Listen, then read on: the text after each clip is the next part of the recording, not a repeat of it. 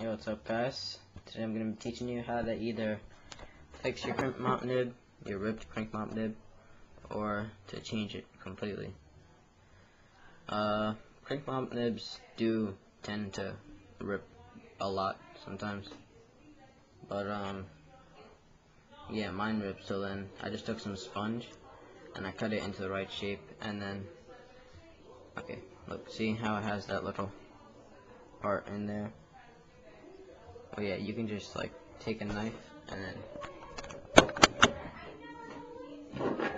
you have to take your knife, put it on the side, and then just push down, and then that will shove it down into the little crack in the corner. So you just do that all around, and then eventually you're gonna have a new mount nib.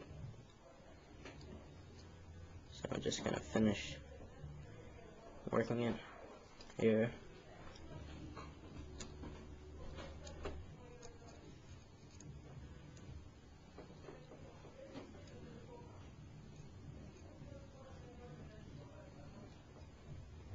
Alright, so there it is. Nice hard sponge nib, or you can use chalkboard eraser felt, doesn't matter. Uh, chalkboard eraser felt's gonna work just fine. So yeah, fully functional pump valve and everything. So now let's test it in a Krink pump. Alright,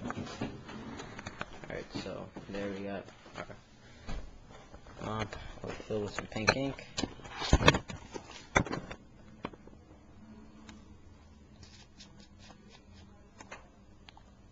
Good stuff. So now we're going to put in our nib. See, nib's in, and it's sponge. Green, you can see it's green. Sponge tip. So now we're just gonna see if it works or not. Actually, let's test it on here. Works just fine.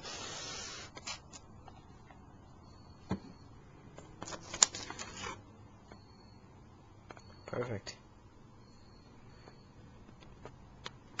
Peace out.